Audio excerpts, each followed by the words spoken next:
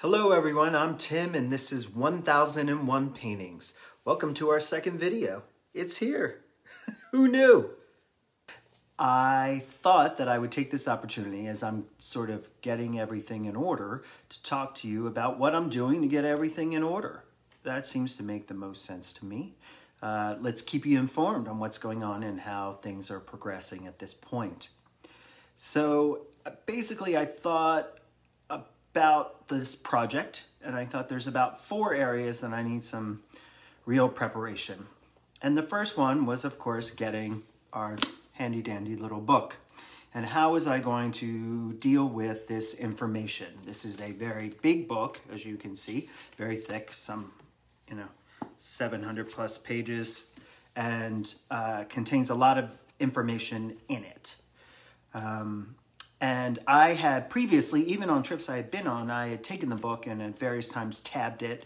If I was going on like my Madrid trip, uh, my Madrid art trip, I would tab the pages that had paintings that were in and around Madrid so that I could read a little bit about those paintings and know before I went uh, what I might be looking for at a particular museum if I wanted to go to that museum.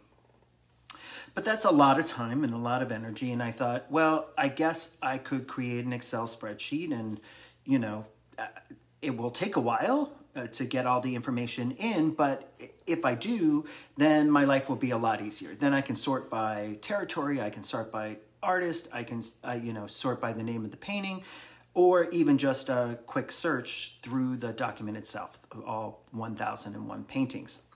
So I started to create that spreadsheet, and then I thought to myself, Tim, work smarter, not harder. Is that the phrase?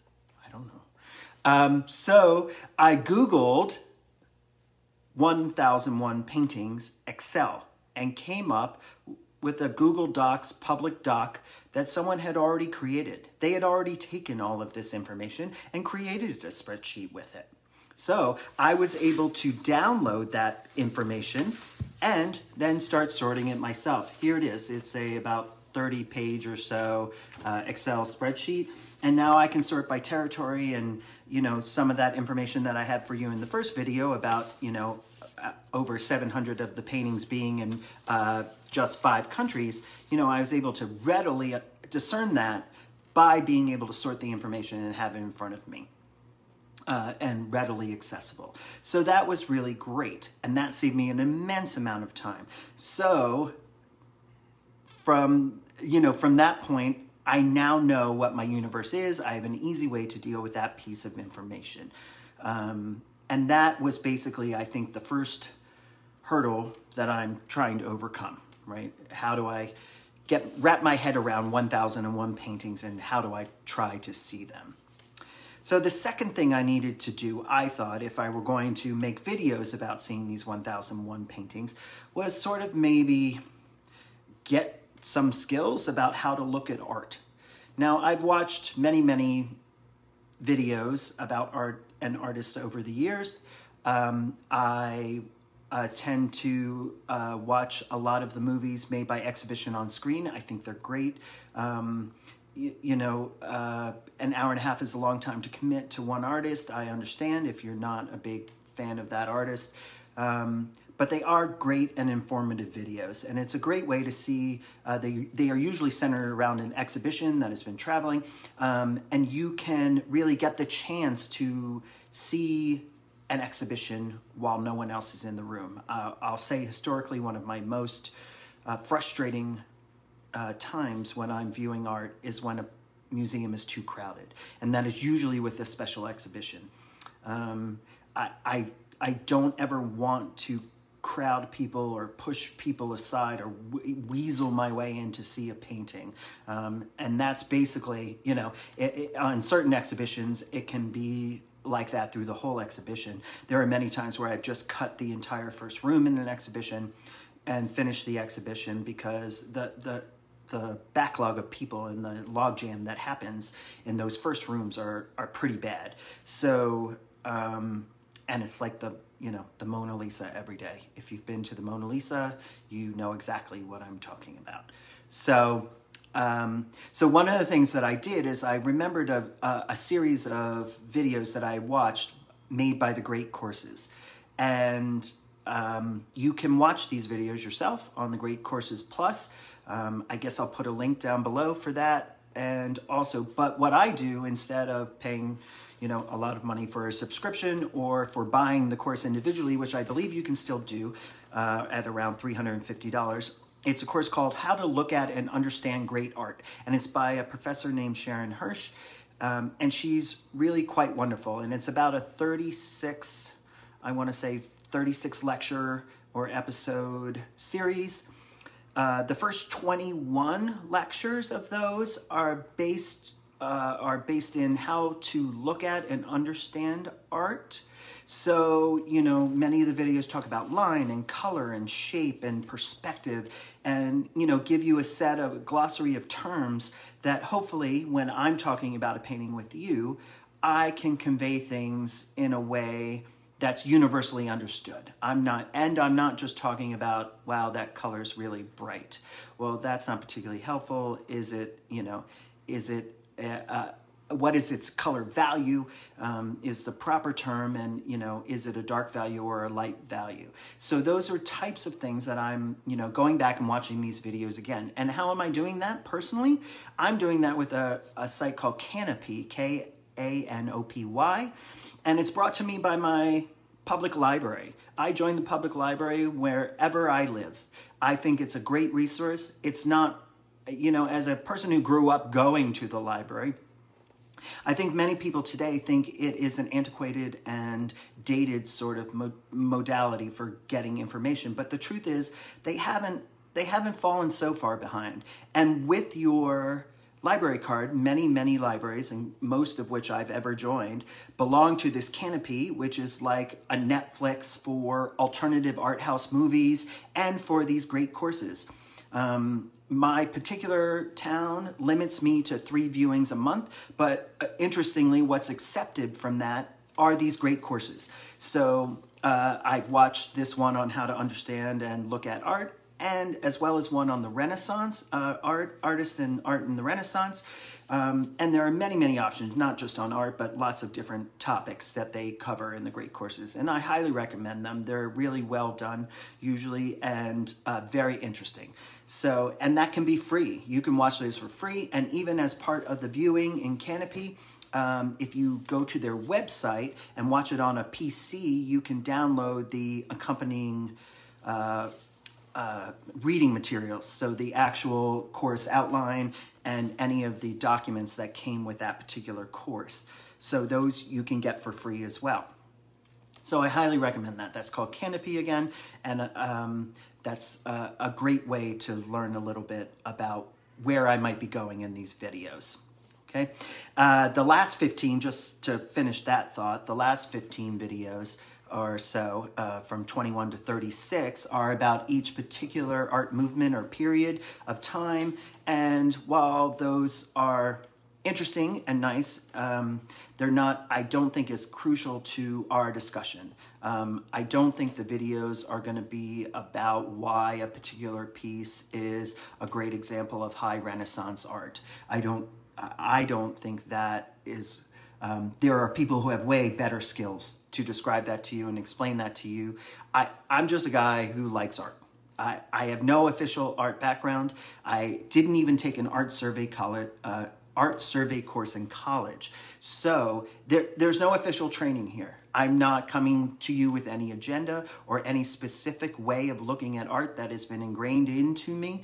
Um, I'm just a person who enjoys looking at art. So I'm using this opportunity in this particular video to sort of learn some of the vocabulary and refresh myself, having viewed it before, on what that vocabulary is and maybe come up with like a crib sheet or something that maybe I'll eventually share with everyone about you know, ask myself these five questions, what or 10 questions about any particular given painting. How do I focus in um, my analysis and how I'm looking at the painting to determine whether, in fact, at the end, I have an opinion about it. Do I like it? Do I hate it?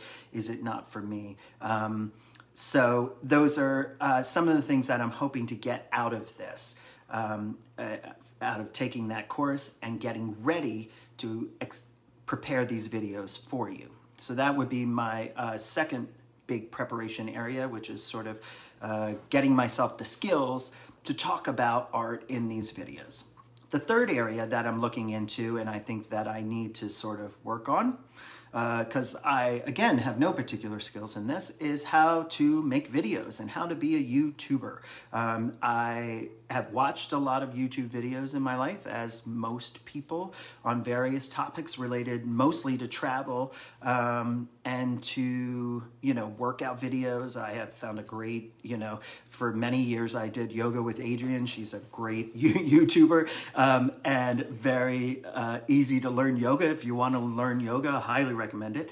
Um, so I have spent many of my years um, watching YouTube videos, but making a YouTube video is really not uh, a skill that I think that I currently have. Um, but you know things that i'm doing are i think i have a leg up with an iphone 13 i just happen to have that um, as my phone. So i'm creating i think higher definition videos right now. Someday that may change and i decide that i need something much greater than that. Um, and i would you know ultimately perhaps invest in some better equipment to make these videos better. I, you know i'm i'm staging it a little bit in you know various areas of my house right now. And you know, I can create a flat background and have a pretty nice video. The question is, how does this all hold up when I'm standing outside the Philadelphia Museum of Art? I have no idea. We'll see how it goes. Another part of that was downloading the teleprompter app. So like the first video that I did was highly scripted, whereas this is, you know, I'm using a little crib sheet here, but not um, perfectly scripted.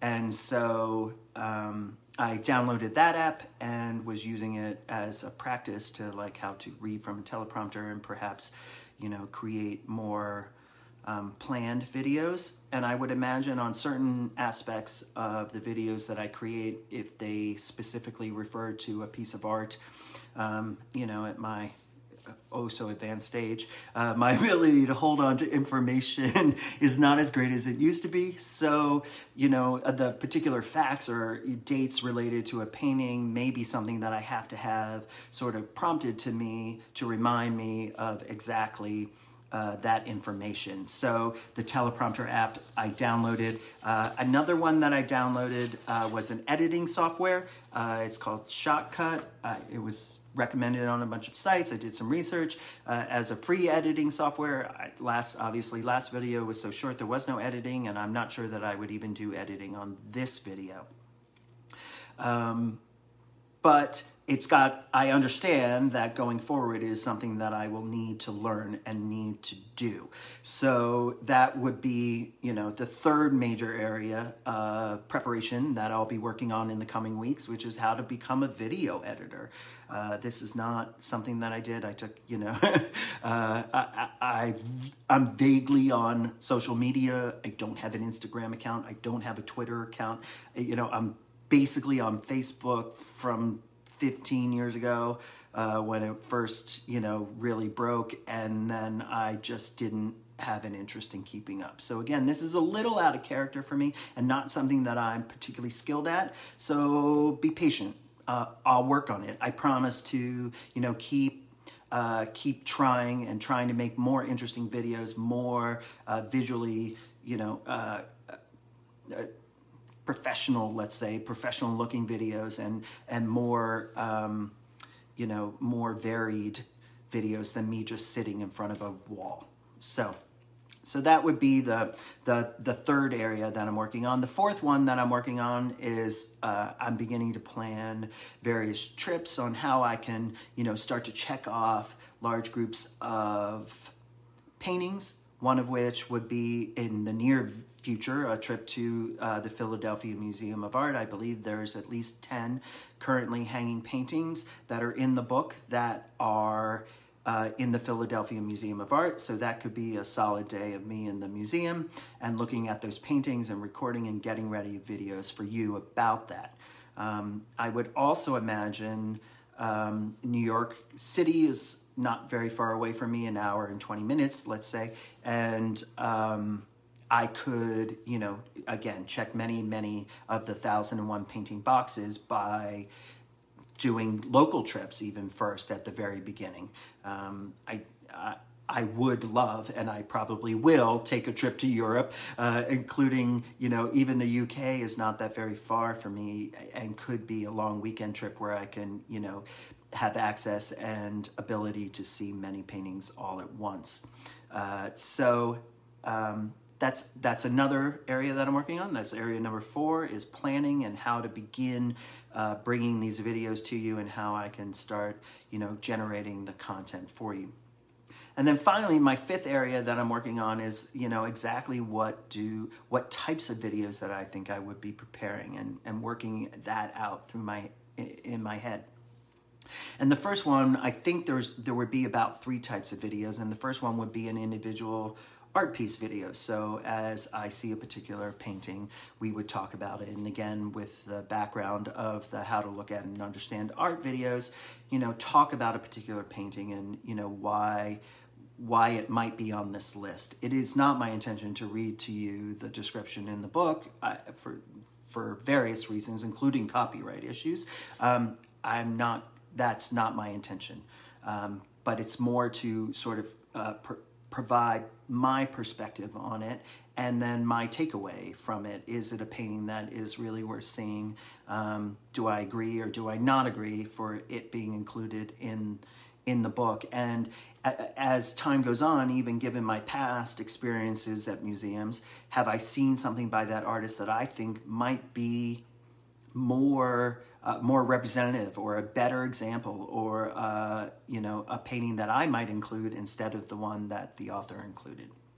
The second type might be a second type of video, might be like a museum-based video or a city-based video that would talk about, okay, on my trip to the Philadelphia Museum, here's what you need to know. Here are some secrets about this museum or secret tips or um, suggestions on how to navigate the museum and how to work your way through and hit the highlights if you're doing a highlights tour or if you want to spend a whole afternoon at a museum, how to do that, um, uh, you know, for a particular museum when I, uh, when I visit it. Another one might be a city tour, which is, again, if I'm traveling specifically rather than uh, local travel, uh, far far away travel, let's say, um, you know, I, I won't just go to museums. I'll go to cathedrals or synagogues or, you know, natural history museums or the top, you know, sites in a particular town. And, you know, there, I could share that with you as well in a video. So that's another type of video that would be more city based to talk about, you know, not just the art in that city, but also other things that you could do while you, uh, while incorporating art museums into that trip. So, and a third uh, video uh, type of video might be about traveling and, you know, uh, how, how I travel meaning how am I booking hotels? How am I choosing hotels? How how am I you know selecting the credit cards that I use that get me free access to um, that get me free access to lounges in airports. You know, that's the sort of information that people are always asking me about, honestly. You know, what credit card am I big on right now? And how, which points am I saving and hoarding and getting ready to, you know, go on a trip? Um, and which, which airline am I trying to get status on? And, you know, all of those things are something that I regularly regularly deal with and have experience in. So as they come up, I think that that might be helpful to people as well. You know, if you want to plan one of these art trips, how do you save up for it? How do you, you know, one of the, you know, one of the things I think off the top of my head is that, you know, planning a trip to go to museums is not something you want to plan for in warm months. You know, I, I, there's nothing better than than you know, going to a place like Madrid in January when the crowds are less and you you don't feel like you're missing something by going to an art museum. You know, by going in June, the competition is really hard to not want to get on a bike and bike through, you know, the park.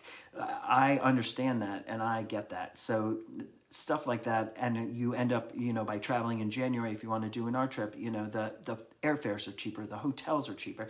You know there are ways in which you can travel wisely and not and be frugal about it um, and still get to do what you want to do. So maybe there would be a third class of videos about that about you know travel tips and how to make these trips happen if you want to So that's basically what I'm up to. I'm up to, you know, five different areas that I am focusing on and trying to compile, you know, information and get things together and get ready. And, um, you know, I'm hoping it won't be long that I'll, you know, be taking my first trip to the Philadelphia Museum of Art and I can bring you one of our first videos and we can talk about, you know, what you like, what you don't like, you know, is this a great format for you? And for me. So uh, I'm looking forward to it. I'm still really excited. You know, video two. Here we go. Hold on. Till next time.